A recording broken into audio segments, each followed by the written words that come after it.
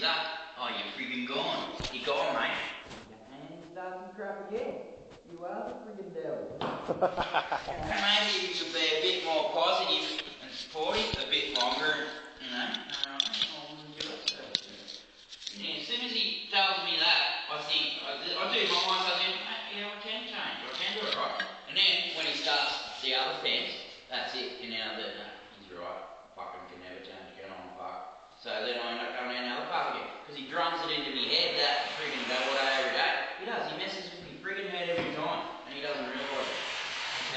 How unstable mind is, you know.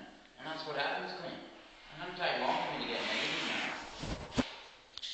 You should replay.